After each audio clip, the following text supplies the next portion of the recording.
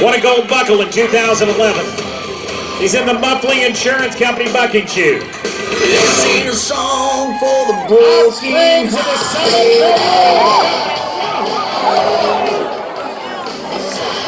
He dodged the ball. He's so uh, lucky.